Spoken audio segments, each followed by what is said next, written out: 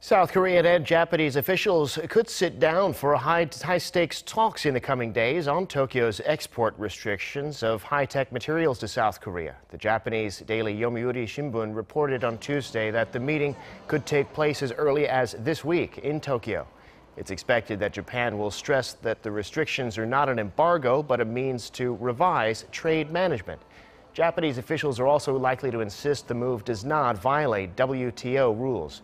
On the other hand, according to a source at Seoul's trade ministry, South Korea is likely to raise its own questions and rebut Japan's recent suggestion that their high tech products may be finding their way into North Korea via the South.